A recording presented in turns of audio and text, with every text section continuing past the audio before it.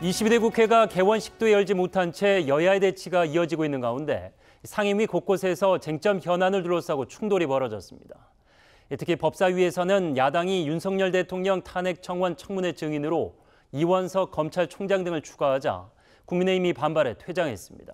첫 소식 이어진 기자입니다. 윤석열 대통령 탄핵 청원 청문회 증인으로 이원석 검찰총장 등을 추가하는 안을 놓고 대립한 여야.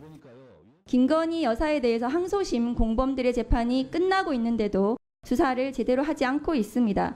이원석 검찰총장에게 질문을 해야 합니다. 이재명 대표의 국회의원 제명 청원이 만약에 들어와서 요건을 넘겼다라고 칩시다.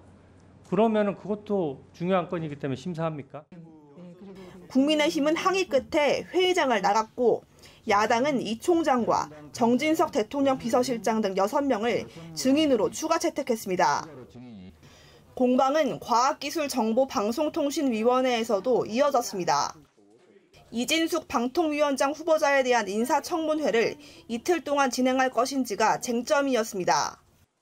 이틀 동안 전례가 없습니다. 고의적으로 이게 지금 인사청문 절차를 지연시키는 것밖에 안 되고요.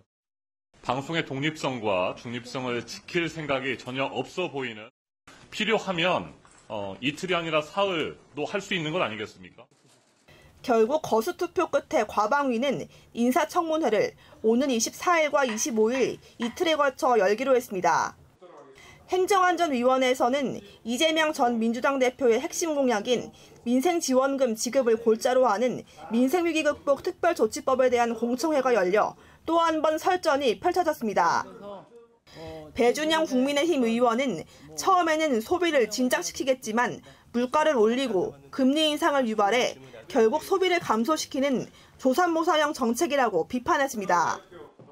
이에 대해 이상식 민주당 의원은 윤 대통령이 민생 토론회 등에서 말한 공약의 재원이 몇백조 대라는 분석도 있는데 13조 원이 아깝냐며 반박했습니다.